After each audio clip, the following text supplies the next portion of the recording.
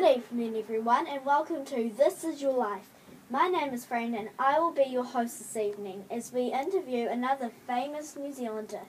Tonight, we are very lucky to welcome to the, into the studio Sir Edmund Hillary.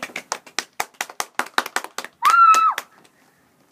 So, why exactly are you famous?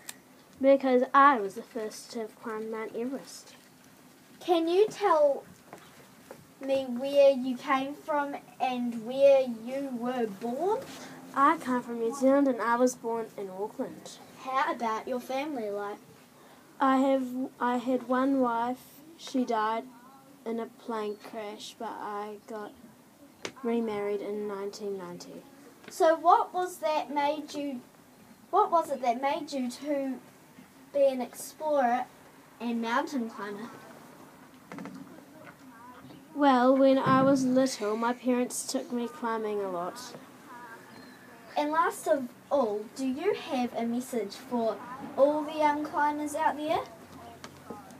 Yes, I do. If you are a young climber and you can't get to where you need to be, just keep trying and never give up.